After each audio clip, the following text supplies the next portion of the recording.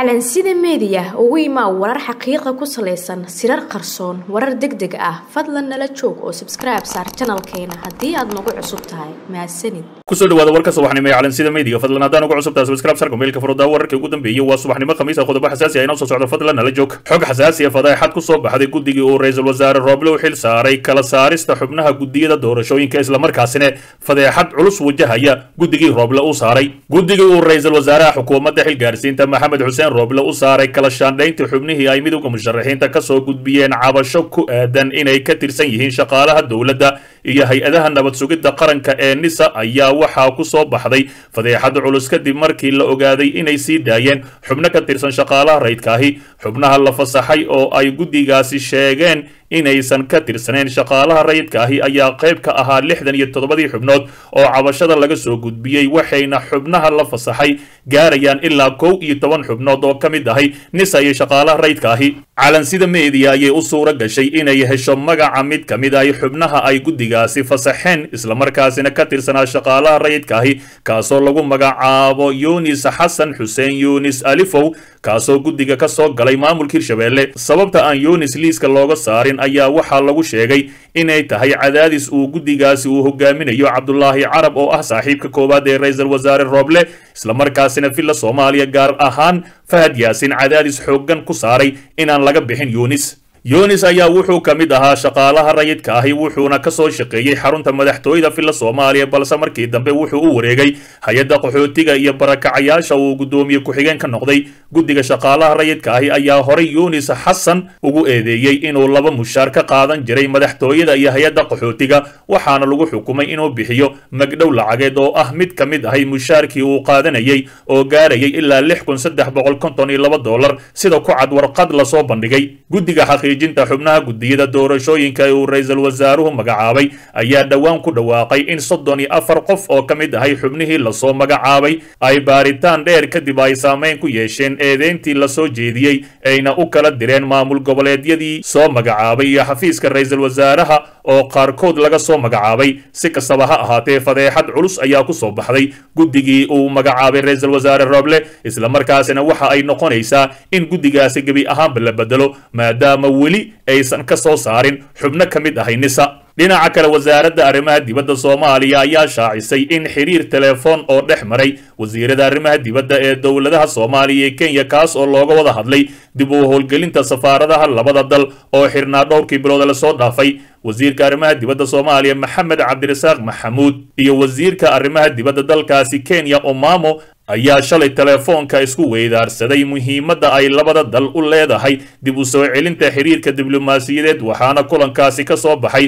isfaham sida lagu sheegay qoraalka wasaaradda arrimaha dibadda soomaaliya. Labada wasiirba waxay dib u xaqiijiyeen baahida loo qabo in si deg deg ahay dib loogu furo labada safaaradood ee soomaaliya kenya ee muqdisho iyo nairobi waxayna ku nunuuxsadeen muhiimadda ay leedahay in la hagaajiyo xiriirka diblomaasiyadeed ee labada dal ayaa lagu yidhi qoraalka. Wasiiradu waxay muujiyeen rajo weyn oo ah in la horumarinayo ganacsiga amniga iyo xiriirka dhaqaale ee ka dhexeeya soomaaliya iyo kenya sida lagu shaaciyey. Qoraalka ay wadahadalkaasi ka soo saartay wasaaradda arrimaha dibadda soomaaliya ugu dambayntiina waxay ku heshiiyeen in la sii wado marinada diblomaasiyadeed ee labada wadan ee isgaarsiinta u dhexeeya labada caasimadood iyo dhammaan arrimaha xiriirka diblomaasiyadeed ee istaraatiijiyadda soomaaliya iyo kenya ayaa hadda ka shaqaynaya dib u soo celinta xiriirkoodii diblomaasiyadeed oo waayahan mugdi badan uu hareeyey balse weli waxaa jira marxalado markii hore xumeeyey oo aan hagaagin sida dacwadda badda qaadkii ay kenya u soo dhoofin jirtay soomaaliya oo aan la fasixin iyo dacwad kale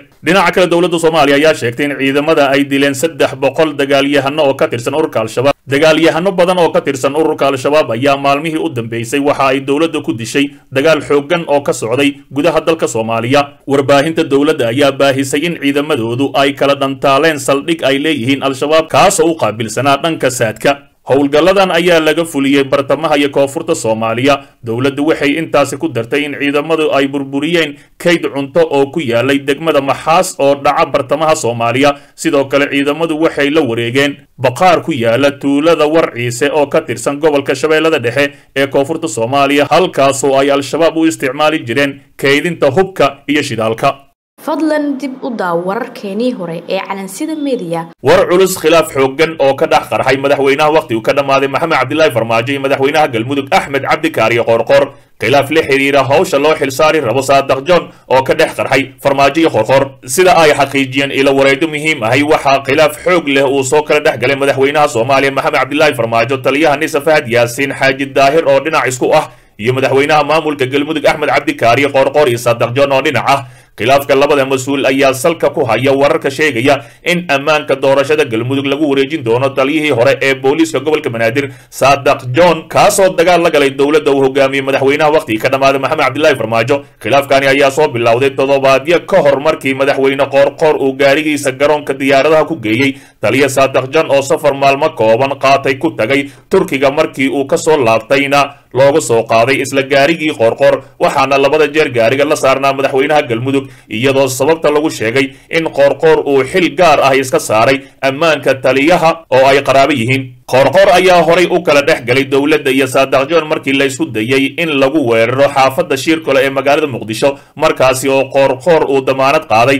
amniga saadaq john madaxweynaha wakhtigu ka dhammaaday farmaajo ayaa aaminsan in saadaq john uu soo saari karo xildhibaanada mucaaradka islamarkaasina uu saameyn weyn ku yeelan karo doorashada soomaaliya maadaama loo xil saarayo ammaanka goobaha doorashada waana sababta keentay in ay kala tagaan madaxweyne qoorqoor iyo madaxweynaha wakhtigu ka dhammaaday farmaajo. Horay ayaa loo yidhi labadii qayaano ku heshiisa ugu dambayntii ayaga ayaa isku soo jeesto. Farmaajo ayaa aad isugu halaynayay inuu helo inta badan xildhibaanada ka soo baxaya galmudug hirshabeelle iyo koonfur galbeed waxaana haddii galmudug lagala wareego ay sii yarayn doontaa fursadda uu haysto madaxweynaha wakhtigu ka dhammaada farmaajo waxaana hubaal ahi in uu boorsooyinkiisa ka sii xirxiran doono fila soomaaliya si kastaba ha ahaatee isha ayaan ku haynaa wararka ku saabsan khilaafka farmaajo qoorqoor dhinaca kale ra'iisul wasaaraha xukuumadda soomaaliya mudane maxamed xuseen roble ayaa xalay isbitaalka madiina ku booqday dhallinyaradii ku soo dhaawacantay qaraxii ismiidaaminta ahaa ee shalay ka dhacay magaalada muqdisho. Ra'iisul wasaaraha ayaa mid mid u dul tagay dhallinyaradani oo waxyeelo ay ka soo gaartay weerarkii xerada jenaraal dhagabadan xilli ay doonayeen inay ku biiraan ciidamada qaranka. Sidoo kale wuxuu tilmaamay in dowladda soomaaliya ay ku bixin doonto dadaal kasta sidii ay u heli lahaayeen daryeel caafimaad oo dhammaystiran rooble ayaa sidoo kale maamulka isbitaalka si gaar ahi kala hadlay daryeelka iyo daaweynta bukaanada oo ay xukuumaddu ballan qaaday inay ka war hayn doonto. Ra'iisul wasaare maxamed xuseen roble waxa uu maamulka isbitaalka kala hadlay daaweynta bukaanada oo si gaar ahi ula soconayso xukuumadda waxaana u rajaynaynaa caafimaad deg deg ah inuu alla siiyo. Waxaa sidaas yidhi wasiirka gaashaandhigga xukuumadda soomaaliya oo ka mid ahaa xubnaha booqashada kuwa heliyey roble dhinaca kale xog culus madaxweynaha wakhtigu ka dhammaaday maxamed cabdilaahi farmaajo ayaa la filayaa inuu saacadaha soo socdo u duulo dalka turkiga sida ay ogaatay warbaahinta soomaaliya. Farmaajo ayaa sida uu qorshuhu yahay waxa uu ka qaybgeli doonaa shir looga hadlayo diblomaasiyadda oo ka dhacaya dalkaasi turkiga gaar ahaan antaliya inkastoo shirkan uu yahay mid heer wasiir arrimo dibadeed iyo madax ka socota ururo dawli ahay iyo kuwo aan dawli ahayn haddana madaxweynaha wakhtigu ka dhammaaday farmaajo ayaa ka mid ah martida ku casuman shirkaasi. Shirkani oo soconaya intuu dhexaysa siddeed iyo tobanka ilaa labaatanka bishani waxaana ka qayb gelaya madaxweynaha dalkaasi turkiga iyo madax dalal kale oo dhowr ahi oo aysan qayb ka ahayn dalalka leh awoodda militari dhinaca kale shirkani looga hadlayo diblomaasiyadda ayaa waxaa hore u qaadacay dalalka ugu waaweyn dunida ee maraykanka iyo yurub waxaana ilaa hadda inta la og yahay ka qaybgalaya madaxda soddon iyo lix dal oo u badan dalalka qaaradda afrika iyo aasiya dhegaystow ogow haddaadan xalka qayb ka noqon waxaad qayb ka tahay dhibaatada dalka